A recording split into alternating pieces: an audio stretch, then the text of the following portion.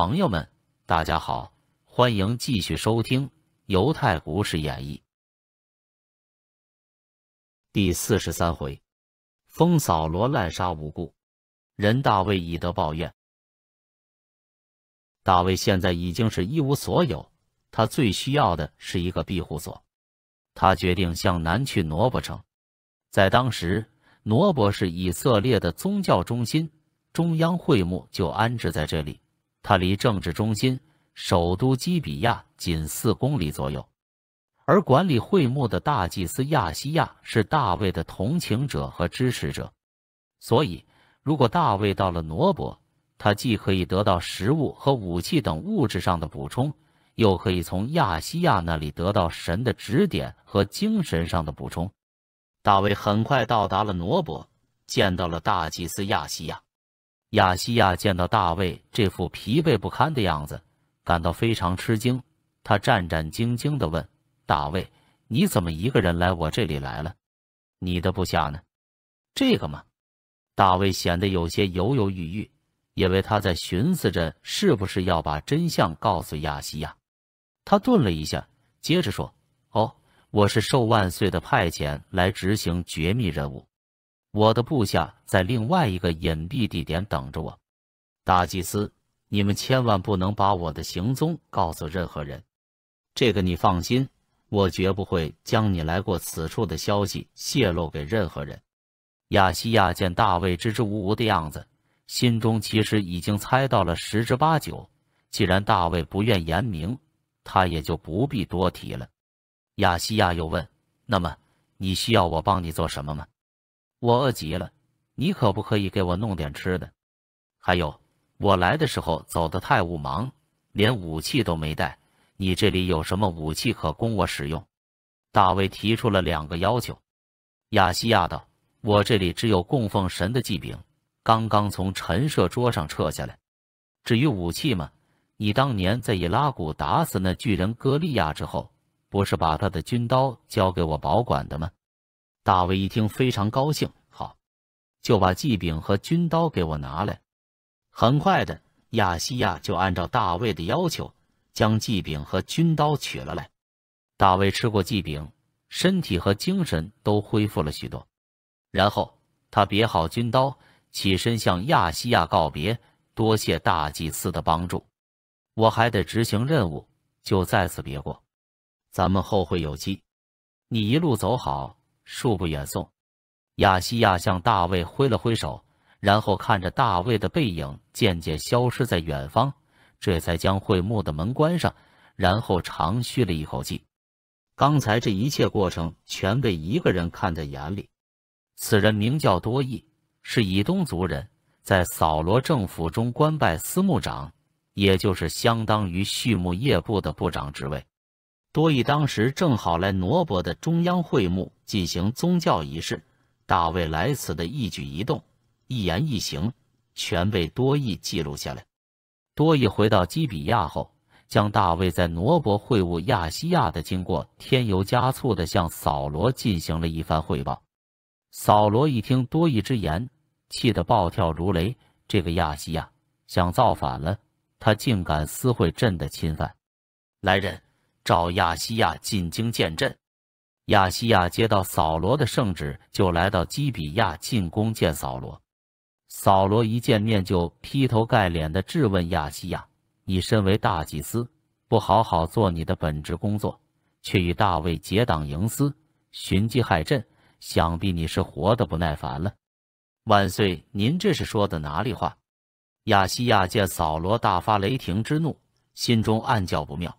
不过他还是想做一番解释。那大卫是万岁您最忠心的臣仆，是您军事上的得力助手。况且他还是您的东床贵婿。他说来挪伯执行您指派的绝密任务，作为大祭司，我理所当然的要好生招待他，为他提供方便吗？这一切不是非常合情合理吗？扫罗一拍案桌，住嘴！朕早就不认这个女婿了。早就下旨捉拿大卫，你知情不报，暗中支持，合谋造反，你还觉得合情合理？来人，传朕的旨，将亚西亚革职斩首，将他一家满门抄斩，不准放走一人。还有那些在挪伯的高级祭司，全是大卫和亚西亚的同党，将他们全部斩首。侍卫们听到圣旨，个个吓得目瞪口呆。怎么着？要杀神的祭司？他们可都是二十四小时全天候侍奉神的专职人员。说白了，他们都是神身边的人，杀他们可是大逆不道的事情，是要得罪神的。于是半晌没有人敢上前领命。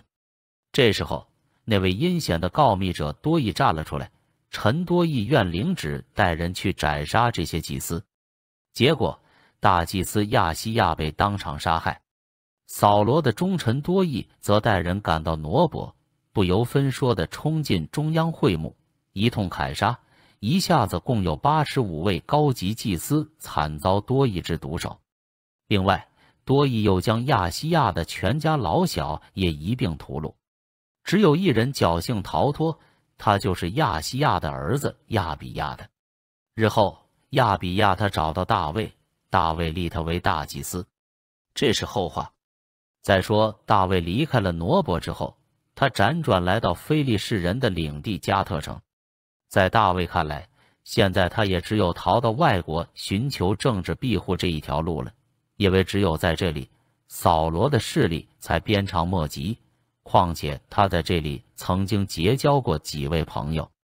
加特城的王叫亚基，他听说大卫逃到他的地盘来了，心中颇感意外。就与他的大臣们商量对策。现在以色列人都在疯传，说是这个大卫以后将会接替扫罗。大卫曾经杀了我们许多人，我们的壮士歌利亚将军就是被大卫所杀。大卫跟我们也是势不两立。你们看，是不是趁他现在落难到我们的地界，令人将其除掉？大臣们有的赞同，有的反对。亚基犹豫不决。只好暂且搁下此事，但是大卫的朋友们已将这个消息传给了大卫。大卫心中大骇，他于是装疯卖傻，在城门的门扇上胡写乱画，故意嘴歪眼斜，把唾沫留在胡子上也不擦洗干净。有人就向亚基禀报，亚基一听，摆了摆手，原来大卫已经被扫罗逼得神经错乱，已经变成了一个疯子。得了，省得他的血弄脏了我们的刀，就随他去吧。这样，大卫又机智地躲过了一劫。但他心想，此地不宜久留，就离开加特，到达了亚杜兰地区。这个地方靠近大卫当年打死歌利亚的以拉谷。亚杜兰属于山区，人烟罕至，地形复杂，这里有的是山洞，正适合躲避。实际上。这里笑聚着很多名震一方的绿林好汉。不久，这些绿林好汉都投奔到大卫手下，大卫成了不折不扣的山大王。大卫在伯利恒的全家为了逃离扫罗的迫害，也先后来此与大卫会合。又过了一阵子，亚西亚的儿子亚比亚，他带着大祭司的圣衣以福德前来投奔大卫。亚比亚他将扫罗派多益屠杀他们全家和挪伯的高级祭司的恶行向大卫一一哭诉。大卫听罢，不由潸然泪下，拉着亚比亚他的手说：“哥，我那天看见多益在会幕那里，估摸着他可能会去向扫罗报告。我顾及那里是神的会幕，不应为污血所亵渎，所以留下多益这个活口。如果当时杀了此人，后来的事情就不会发生了。扫罗滥杀无辜，竟然敢杀神的祭司，他将来必遭神的惩罚。你们全家遭难，我大卫实在是有推卸不了的责任。这样吧，你不要怕，就留在我这里。扫罗一心想杀害你我两人，但是没有那么容易。你就接过你父亲的职位，担任我的大祭司吧。你尽管安心工作，尽职尽份。跟我在一起，你会很安全。从此，亚比亚他就一心跟随着大卫。当大卫后来正式登基为王时，正式确认他为以色列的两位大祭司之一。大卫的队伍渐渐壮大，约有六百多人。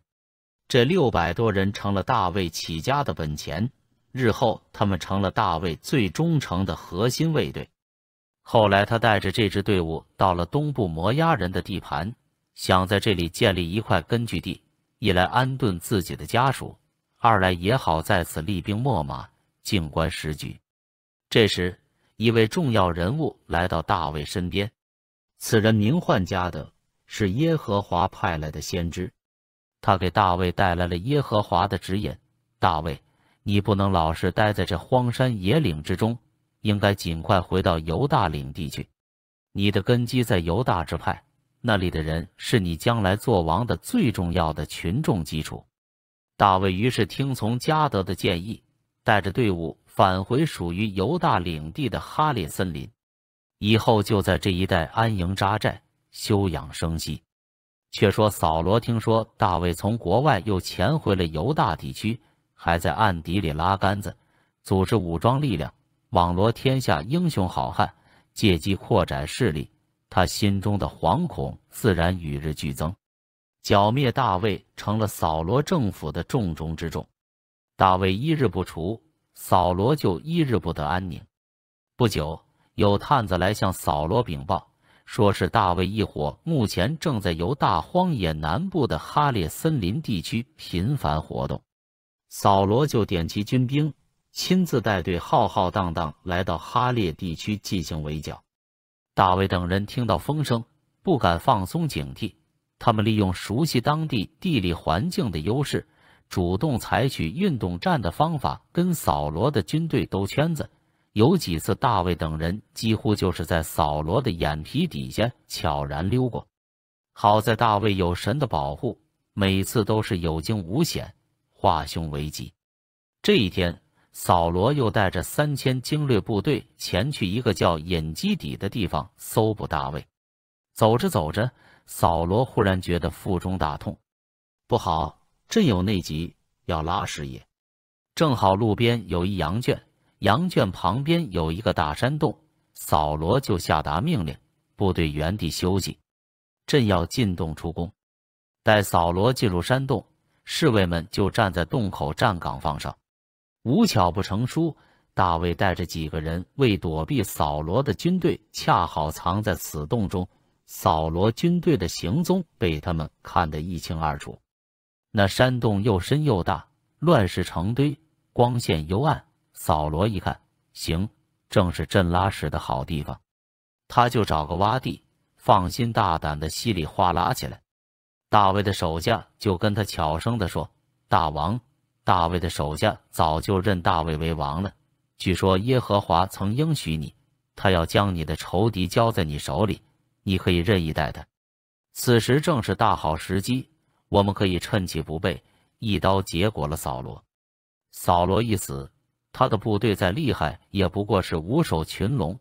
大王，你就可以顺利的取而代之了。谁知大卫听罢，双眼一瞪：“你等有所不知，我大卫是个堂堂正正的男子汉，从来不在暗中放冷箭伤人。况且他扫罗也是耶和华曾经告立的。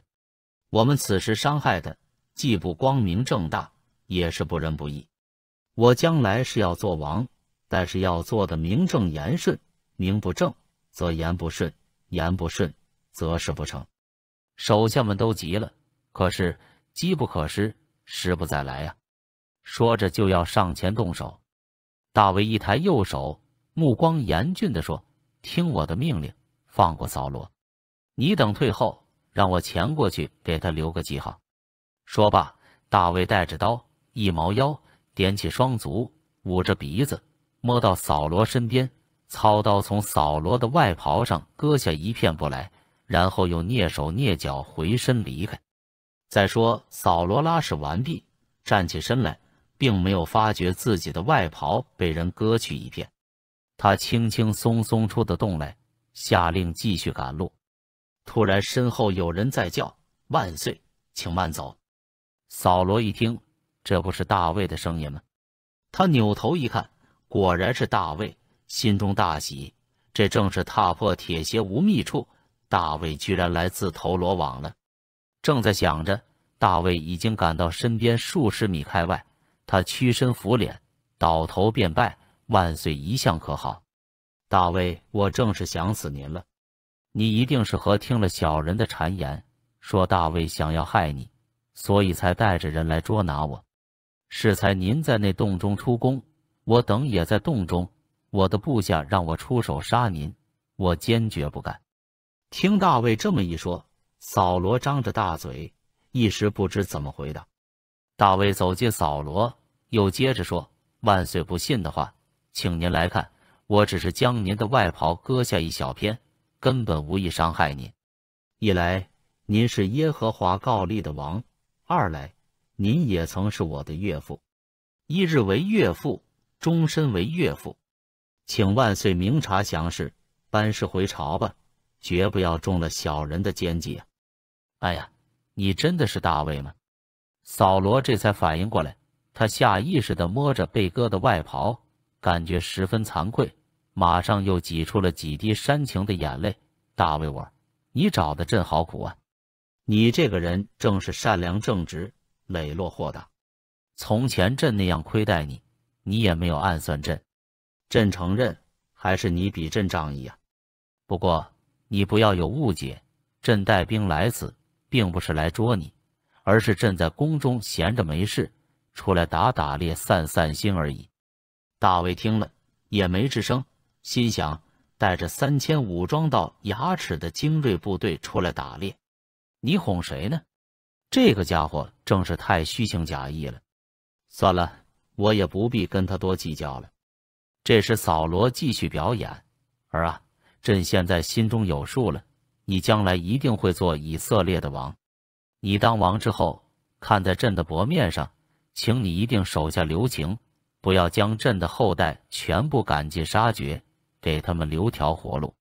说着，扫罗装模作样就要给大卫下拜。大卫实不敢当，大卫连忙伸手扶住扫罗，道：“这以色列现在还是由您当家，至于以后的事情，一切由神安排，由神定夺。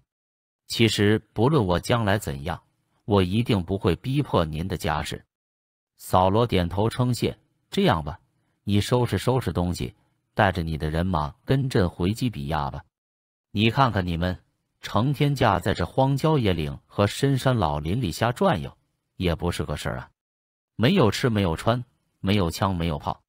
如果你肯跟朕回去，朕一定不计前嫌，咱们共同合作把国家搞好。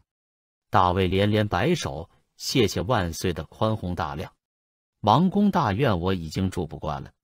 这深山老林里空气清新，没有污染，生态环境特好，也没有交通拥挤，我还是想继续常住在此。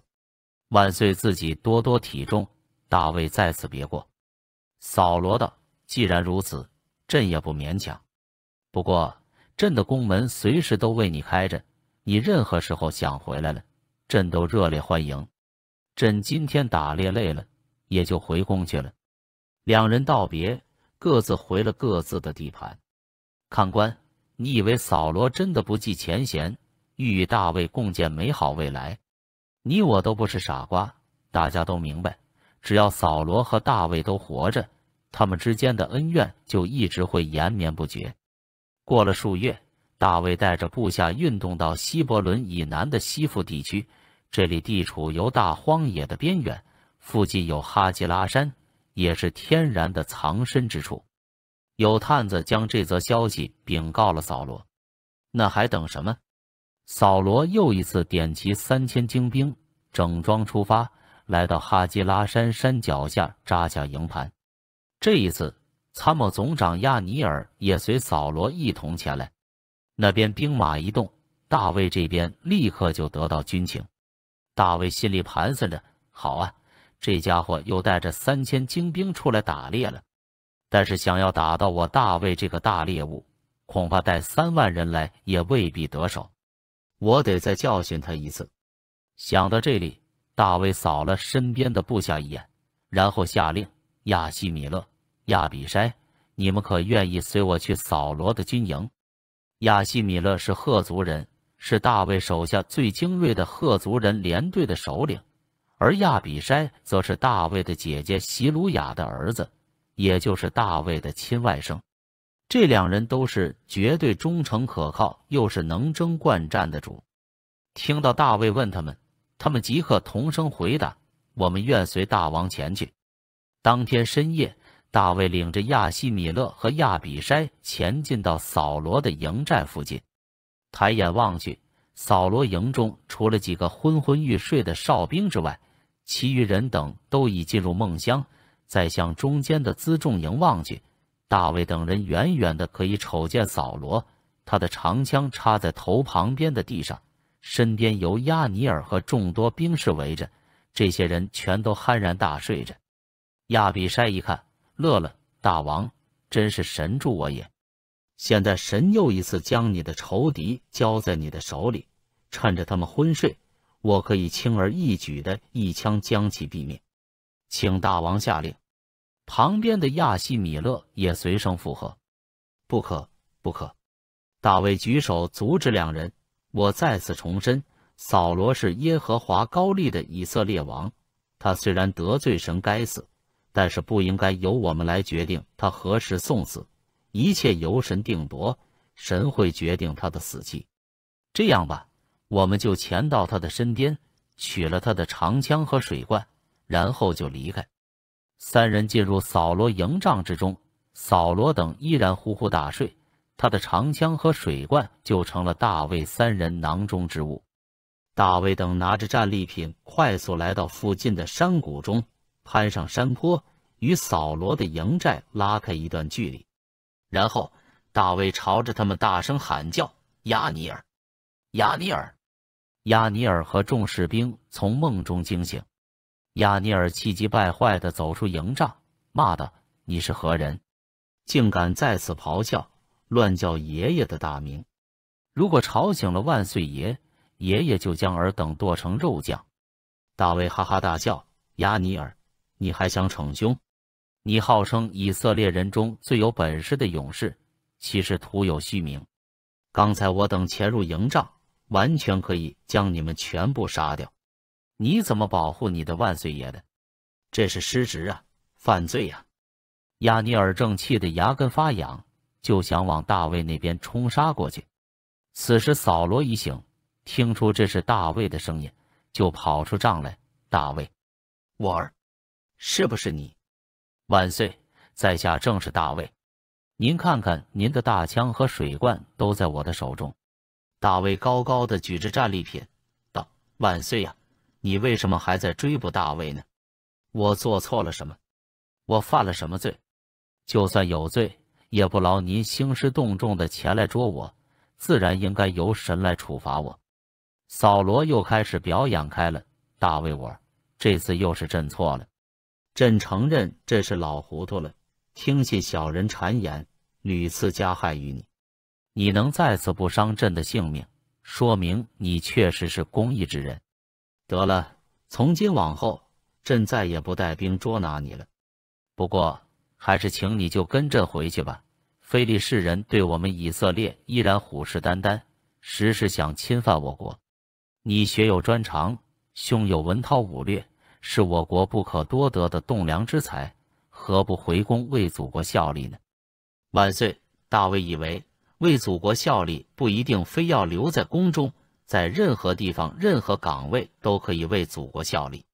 大卫振振有词地说：“如果非利士人或其他外族胆敢入侵以色列，大卫我一定带领全体部署跟你联合，共同抗敌。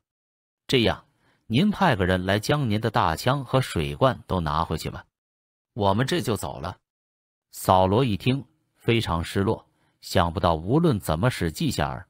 大卫这条大鱼永远上不了钩，他只好耸耸肩，眼巴巴地看着大卫等人消失在悠悠黑夜之中。就在扫罗苦苦追杀大卫的一系列行动期间，以色列还有一件重大事件发生，我们必须先简单交代一下。这就是撒摩尔的去世。撒摩尔是古代以色列史诗时期的最后一位大史诗。在以色列从神权统治过渡到王权统治的过程中，撒母耳起到了极其关键的作用。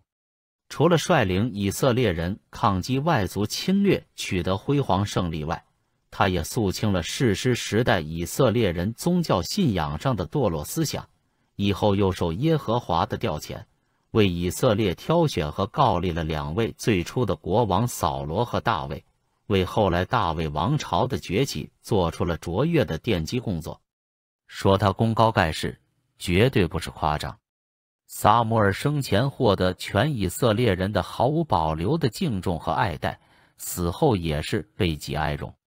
圣经上对撒母耳之死是如是记载的：撒母耳死了，所有的以色列人聚集为他举哀，然后把他葬在他的故乡拉玛。巨星陨落，天地同悲，万里长空且为忠魂舞。可见撒摩尔的个人影响力非同凡响。是继摩西和约书亚之后的又一位当之无愧的神人。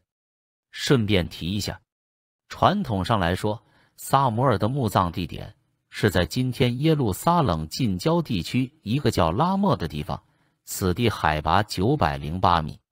在公元十二世纪十字军东征期间，这里曾是十字军建筑的战斗城堡。后来，穆斯林军队将其铲平，建造了现在我们看到的清真寺。撒摩尔的墓据说就是在这座清真寺的地下室。但是，圣经记载撒摩尔死后被葬在他的家乡拉玛城，怎么会出现两个墓葬地点呢？后来，世人发现了一位犹太旅行家的一则记载，说他在一千一百七十三年曾经再次旅行。听说十字军在犹太坟地发现了撒摩尔的遗骸，出于对撒摩尔的崇敬，将遗骸迁葬到耶路撒冷附近的高地上，让撒摩尔可以俯瞰圣城。有趣的是，早在公元五世纪时，还有一位作家说过，在东罗马皇帝阿卡迪奥斯的命令之下，撒母耳的遗骸被迁至查尔西登。这个地方位于今天的土耳其伊斯坦布尔附近的滨海小城。从1992年至2003年，考古学家在拉莫进行挖掘，并没有发现支持传统观点的证据，故而有学者认为这里可能只是纪念撒母耳的衣冠冢。好，我们闲话少说，再回到撒母耳逝世这件事上。我们无法得知扫罗和大卫各自听到撒母耳的死讯后有什么不同的反应，因为对此没有明确的记载。但是我们大概可以想象到，扫罗的心情一定十分复杂，应该是既怅然若失，又如释重负。他对撒母耳是又敬又恨，又怕又有求于他。而大卫呢，他一定会为之而大为悲痛。因为他从此也失去了灵命上的最大靠山和政治上的最强同盟。好，送走了撒母耳，我们现在再返回来跟踪大卫的流亡生涯。言必行，行必果，这是大卫的一贯作风。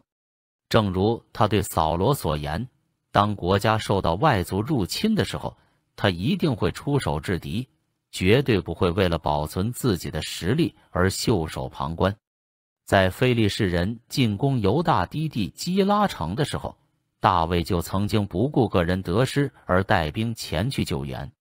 谁知那次基拉城的居民竟然恩将仇报，给扫罗通风报信。结果扫罗认为大卫是自投罗网，带着人马前来绞杀大卫。大卫只有区区六百多人，自然不是扫罗的对手。幸亏大卫事先通过身边的大祭司亚比亚，他向耶和华求祷，预先就知道扫罗将带人来追杀他，所以大卫得以从基伊拉城安然撤出，让扫罗扑了个空。流亡期间，大卫的个人生活也有了变化。横行霸道的扫罗在大卫逃亡没有多久，就擅自主张将大卫的发妻米甲改嫁给他人。大卫当然对此耿耿于怀，但也无能为力。后来，他娶了一个叫亚希暖的女子为妻。注意，扫罗的正妻也叫亚希暖，同名同姓，不要混淆。圣经中没有描述大卫在何时何地、在什么情况下迎娶了亚希暖，只知道他的籍贯是以色列北部地区的耶斯列，是大卫在流亡期间迎娶的两位压寨夫人之一。另一位压寨夫人叫亚比该，圣经对她情有独钟，专门有一章详细描写大卫和亚比该成婚的经过。在那个君权、父权、夫权不容侵犯的年代里，女人的命运时有被男人左右的情况，但是。这个亚比该女士却是个与众不同的女人，她是有夫之妇，老公是生意场上的能手，家道富殷，过着悠哉悠哉的生活。不幸的是，老公为富不仁，肆意侮辱前来求助的大卫。